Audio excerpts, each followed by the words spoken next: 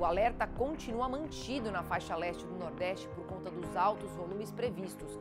Já choveu demais no outono, com volumes acima da média, às vezes até o dobro do esperado para algumas cidades, e o inverno também será com chuva acima do normal. E o que a gente observa são pancadas em toda a faixa leste, e por aqui o que a gente vai ter é 30 milímetros acumulados. São 30 milímetros que não parecem muito, mas somados à chuva aí que já caiu, é uma grande quantidade que mantém o risco para deslizamentos de terra e encostas.